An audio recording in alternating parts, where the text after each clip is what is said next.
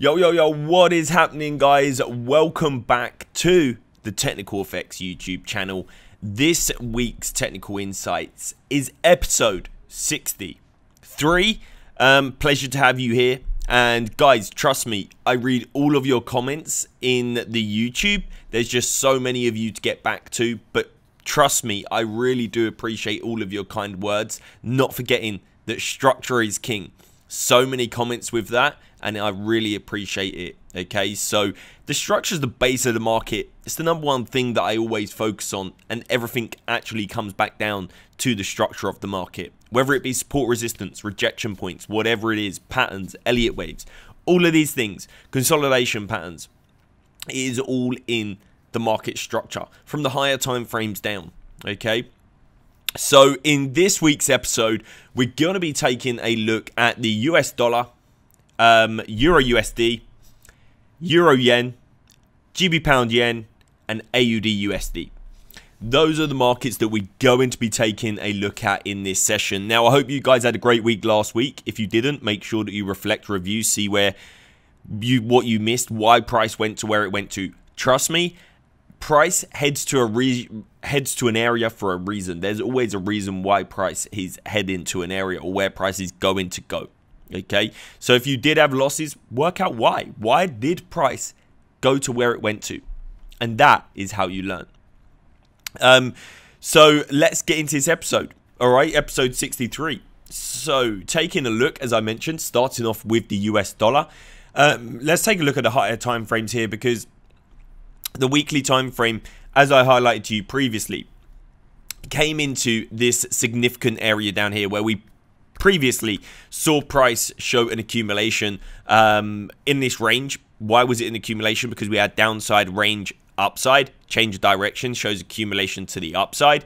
So we've had that move there um, where price took a strong bullish push to the upside from that region.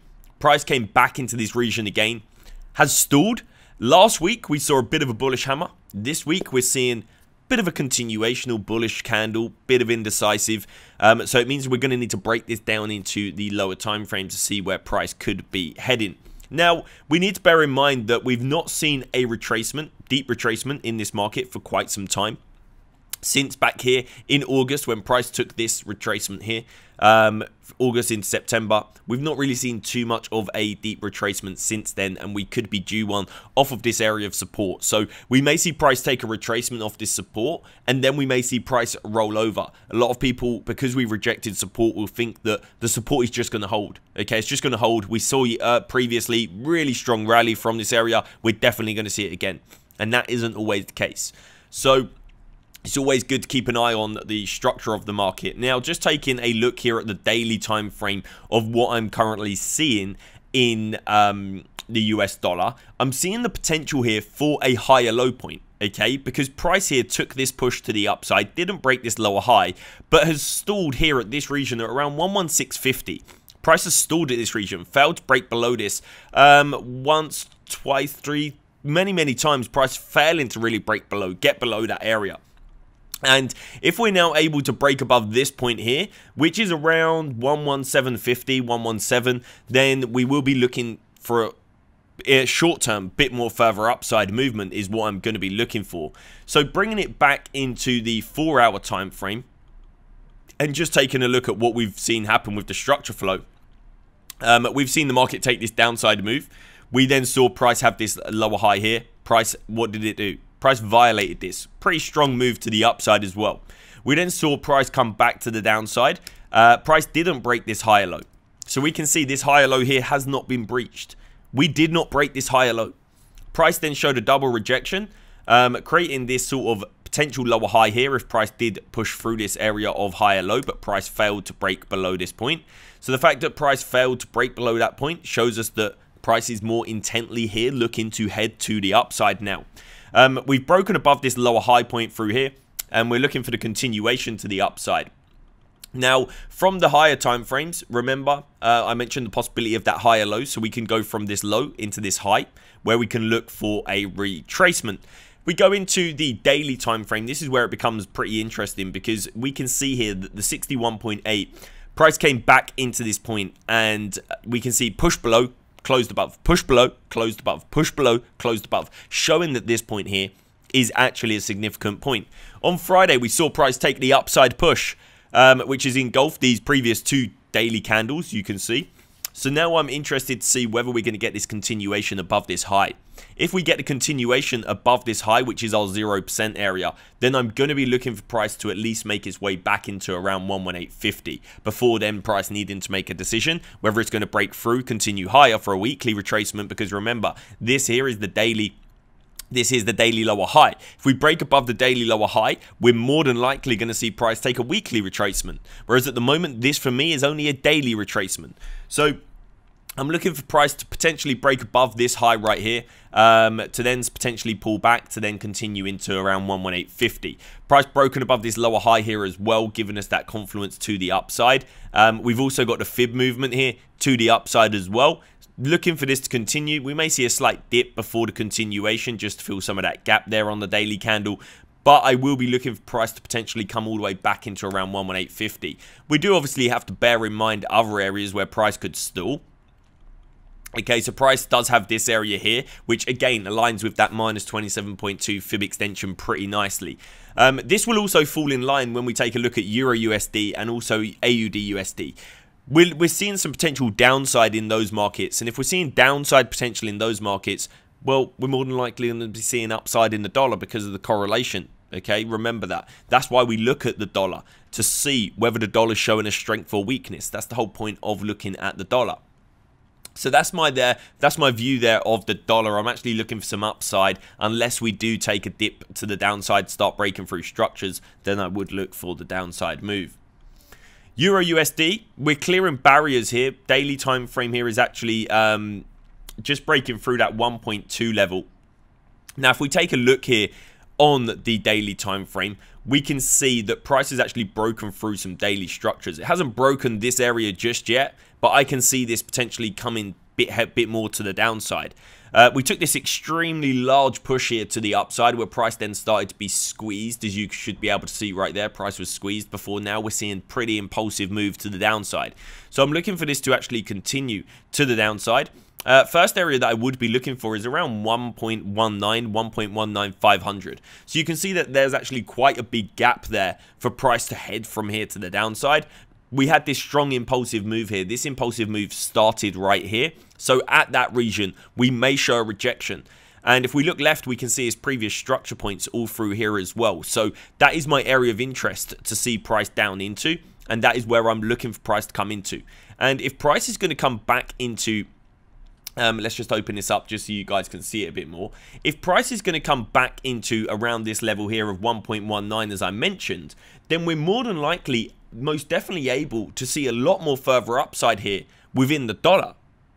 Okay, because dollar strength helps Euro USD to the downside.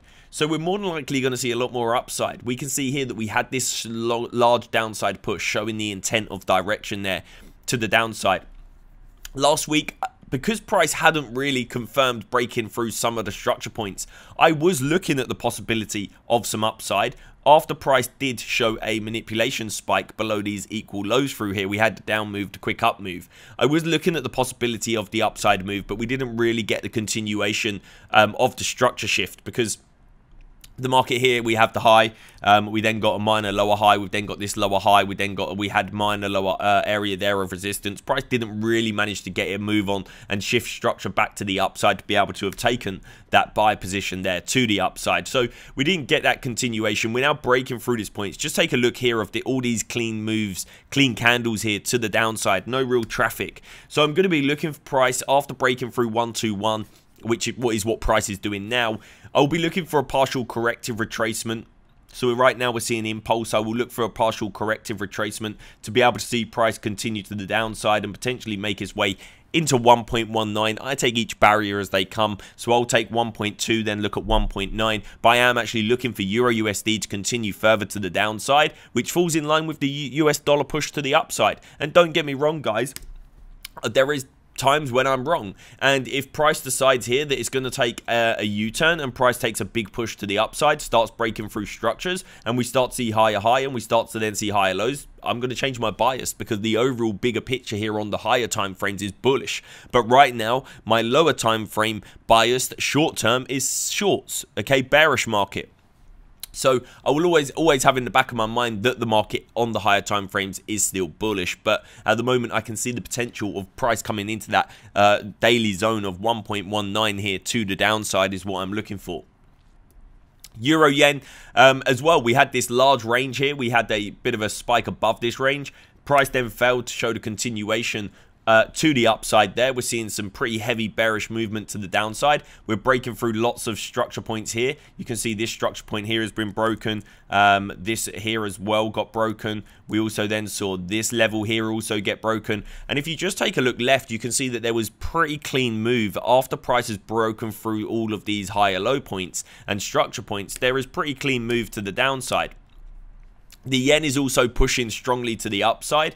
Um, so I'm looking for price here first of all, to come into this area here of 125. At 125, I believe we will see some sort of reaction, possibly some sort of retracement. We've broken some daily structure here. So if we are to break through 125, then we could very well bring price all the way back down into around, um, let's just go into the four hour time frame just so I can see a bit better yeah, we could very well bring price um, back down into this area just through here to start with, which is 124 500.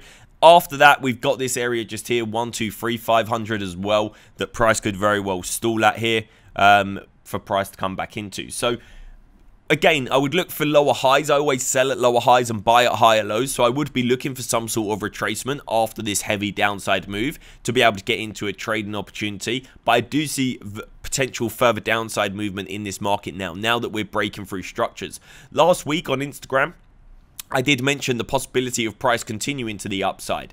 And when I posted that, price was actually um, price was actually around this region right here. I was looking for the possibility of price shifting in structure, so a push to the upside, higher, high, higher, low, and continuation.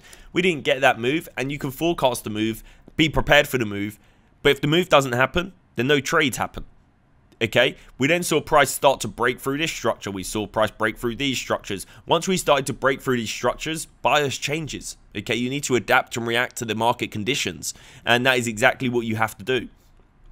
And that is exactly what we've done here because we're now looking for the potential downside movement here within Euro Yen. Um, GJ hasn't really shown so much of a downside move. Price here still is at the moment bullish. Um, we did have a small range up here, which looks to be distribution because price pushed to the upside, took a slight range. We're now pushing to the downside, um, which shows distribution of positions so that price can now continue a bit lower. And if we just take a look through here, um, we do have quite a bit of clean candle movement just through here that price could very well come and react in. And we've also got these uh, sort of equal lows here at this point that price may very well come and take out. We've also got this area here, which was pretty clean. So I'm expecting price to at least fill this area here. After that, if we manage to break through this area, then it will be nice. So I'll something like this, price to break through that low, corrective move to the upside, then being able to take the shorts to the downside. Um, we could very well come into 137 to the downside. I would first of all look for my target to be around this area just here at 139. Pretty nice area to target. So I'll be looking for corrective retracements. Corrective retracements are always nice. You can even see up here in this box range that price did actually show and uh, gave an idea of where price was looking to go. We saw an intent bear, bearish four hour candle right there. Um, and just take a look at how long price after that. So one four hour candle brought us all the way down into this area. Look how many four hour candles it actually took for price to actually get back up into this area. Okay, several several four hour candles before then rolling over to the downside look how price actually pushed off from this level really clean candles as well so the candles can give you a very clear indication of where price is looking to go. And you're actually going to see that now in um, Euro, uh, AUD, USD, sorry, which is the last market of the update. Um, so reviewing this from last week, previously I mentioned some downside movement previously when we saw this move happen. Why? Well, again, we had strong clean candles to the downside. it took price quite a while to correctively retrace this move to the upside. Look how long it took price to get back up into this same area that it took two candles to get into. And it was a very corrective move. And after that corrective move, we see impulsive move to the downside again. Then if we take a zoom out and we just re readjust our eyes, sometimes it's good just to look away from the charts and then look back again, just so you can reset your eyes on what you're looking for. We can actually see that this move here to the downside was pretty clean and strong okay? Took about six candles for price to actually get down into this area. Look how many candles it took for price to actually close this area back to the upside took several several very corrective movement. Push up pull down push up pull down push up pull down push up. And then we're now we're seeing the intent direction clean candles pushing price to the downside. So all i'm going to be now looking for in this pair is pretty much just a bit of a corrective retracement on the one hour time frame to look for sells to bring price back into this area here to close the gap that we've got in that push to the upside there and that is roughly around my target 0.76 0.76200 uh, and again this falls in line with the dollar analysis because we're looking for possible dollar further upside which would help AU push to the downside. Okay? So that is currently what I'm looking at. And you can just see here impulse push, corrective retracement, impulse push. We had the same back here, impulse push. We then had this corrective retracement, impulse push. So when you're looking for the retracements, this is what you want to be looking for. The intent of price. How is price flowing? Did price impulsively push somewhere? Because that shows intent of direction. If it then impulsively pushes the other way, then it shows that it could have been some manipulation. But if we get impulsive push, then a corrective move, this shows that price, the corrective move shows that price isn't really intently moving in that direction. And we could very well soon intently push in the other direction that we already intently pushed in. Okay, so again, a little knowledge bomb there for you guys to go go into the charts and study with in terms of the impulse and corrective moves right there. Um, they are pretty powerful. And um, that is my um, technical insights episode 63 of pretty much what I'm looking at for the next week. We've got Euro, Euro, Euro USD looking for possible downside, Euro Yen as well, GB Pound Yen, a lot of downside potentials for next week to be honest with you. The dollar's pushing, the yen's pushing, so listen to what is happening in the um, in the in the main currencies? Are they showing strength? Are they showing weakness? And again, use that towards your bias um, to help you in terms of the direction that you're looking for pairs to head in. Um, and also in line with the structure, okay? You want to keep it in line with the structure that the markets are showing you. So guys, I appreciate you guys tuning in. Um, it, remember guys, this is only the second week of 52 weeks of a year. If you've had a bad week, review it, reflect on it, put it to the side. A lot of people let one bad week crumble. Don't let it crumble, you guys. Remember, we all have good weeks. We all have bad weeks. We all have break-even weeks. It happens. The most, important, most important part is that at the end of the year, okay, your edge has played out. That is the most important part. Your edge has played out and you've made profit from the markets from consistently doing and repeating the same thing over and over again. If you don't repeat the same thing over and over again, you won't ever have an edge. You need to repeat the same process over and over again or you won't have an edge. So guys, again, give give us a like, subscribe, leave a comment. I read them all, guys. Trust me, and I appreciate your kind words. Your kind words is what gets me up to come into the office on a Saturday morning and bring you guys technical insights. So it really does mean a lot to me. Um, and thank you once again. Hope you guys have a great week next week. Let's see what the dollar's going to do.